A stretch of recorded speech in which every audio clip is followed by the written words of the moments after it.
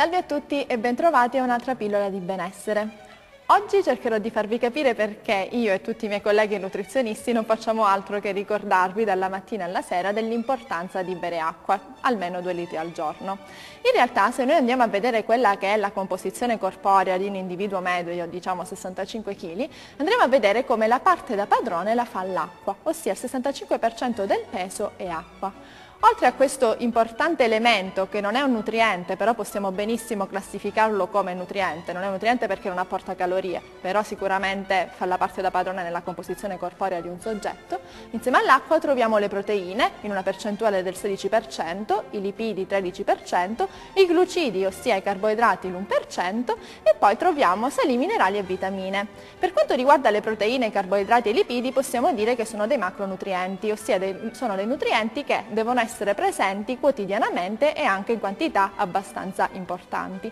Mentre per quanto riguarda le vitamine e i sali minerali, diciamo che sono degli elementi che svolgono dei ruoli importantissimi, sono cofattori di moltissime reazioni biochimiche, molte vitamine regolano dei meccanismi fisiologici molto importanti, però sono dei micronutrienti perché per esplicare la loro azione sono necessarie piccole quantità di questi composti. Invece oggi vorrei soffermare la vostra attenzione sull'acqua. Come abbiamo detto, il 65% del peso di un individuo di 65 kg è costituito da questo elemento. Questo elemento che deve essere ovviamente apportato dalla dieta ma anche dall'introduzione di bevande, bevande che sono sicuramente l'acqua ma anche succhi di frutta, tè, possibilmente verde oppure la frutta e la verdura che sono molto ricche di acqua. Perché dobbiamo introdurla dall'esterno? Perché fondamentalmente quando parliamo di acqua parliamo di bilancio idrico, ossia dobbiamo pensare all'acqua che noi introduciamo nel nostro corpo ma anche l'acqua che quotidianamente esce Dobbiamo pensare che perdiamo acqua in maniera impercettibile dalla cute e dai polmoni mediante la respirazione, perdiamo acqua con le feci e soprattutto perdiamo circa un litro e mezzo di acqua al giorno con l'urina. Quindi se dobbiamo bilanciare queste perdite giornaliere è ovvio che dobbiamo introdurre almeno 2 litri d'acqua sia con gli alimenti ma anche l'acqua che viene prodotta dal metabolismo di tantissime reazioni biochimiche che avvengono nel nostro organismo. In realtà arrivare a bere 2 litri d'acqua è molto semplice ed è anche intuitivo pensare come se un soggetto avrà un apporto idrico ridotto anche la produzione per esempio di urina sarà proporzionale alla quantità di acqua introdotta. Per questo noi consigliamo che per favorire la diuria sia sempre bene bere acqua. Magari a volte ci si chiede ma qual è la migliore acqua? acqua quella in commercio, acqua potabile magari delle fontane.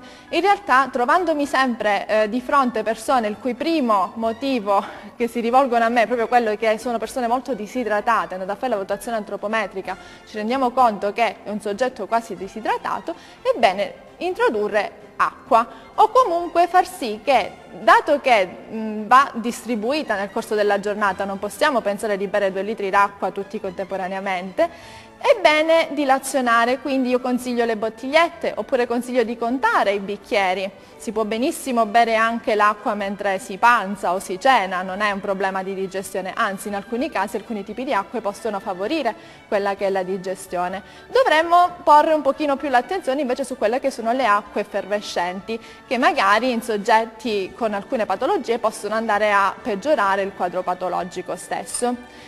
Inoltre ho detto che non solo l'acqua di per sé è importante, ma anche tanta frutta e verdura. Ci sono tantissimi cibi ricchi in acqua, pensiamo all'anguria, pensiamo alle, anche alle banane stesse, alle mele, alle pere. Tantissime verdure a foglia verde sono costituite almeno al 60% di acqua.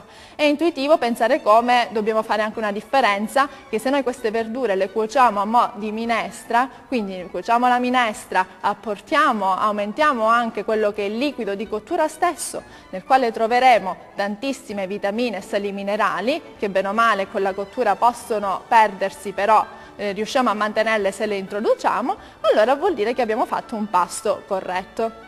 L'apporto idrico quindi, ricordiamocelo, è bene che sia mm, molto frequente nell'arco della giornata e accompagnato quindi a tutti i nutrienti, quindi ricordiamo tutti i giorni dobbiamo assumere carboidrati, dei lipidi e delle proteine.